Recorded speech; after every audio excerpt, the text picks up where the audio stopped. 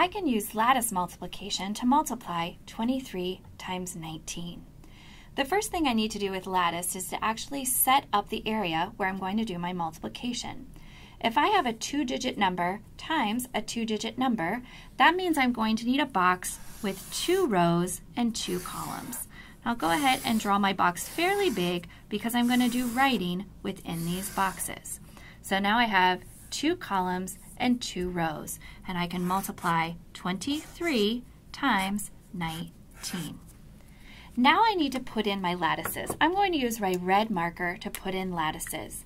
I'm going to put in lattice each from the top right-hand corner to the bottom left-hand corner. So a lattice is just a dashed line that looks like this, and I like to extend my lattice a little bit off of the grid, so that's going to help me figure out what my answer is. I'll do a lattice from the top right-hand corner to the bottom left-hand corner, keep going, and I'll extend off just a little bit, and then top right-hand corner to bottom left-hand corner, extending off just a little bit. Now it's time to do multiplication. I'm going to multiply each number on top by each number on the side. I'll start here. 2 times 1, the answer is going to go in this box here. 2 times 1 is 2. That is 0 sets of 10 and 2 ones. The 10s go above the lattice, the 1s go below the lattice. 3 times 1 is 3. 0 sets of 10 and three ones. Now 2 times 9 is 18. One set of 10 and eight ones. And 3 times 9 is 27. Two sets of 10 and seven ones.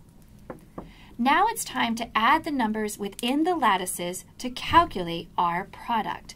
If I shift this just 45 degrees, you can now start to see the place value that is working with the lattice. So this is my ones column, here is my tens, this is my hundreds column, and this is my thousands column. So lattice is still place value based. Now I'll move this back and now we're going to go ahead and add. I only have 7 here. 7 plus nothing is 7. Now I'm going to add the numbers in my tens lattice. 3 plus 2 is 5, plus 8 is 13. That's 3, and then I regroup the 1 to the hundreds lattice.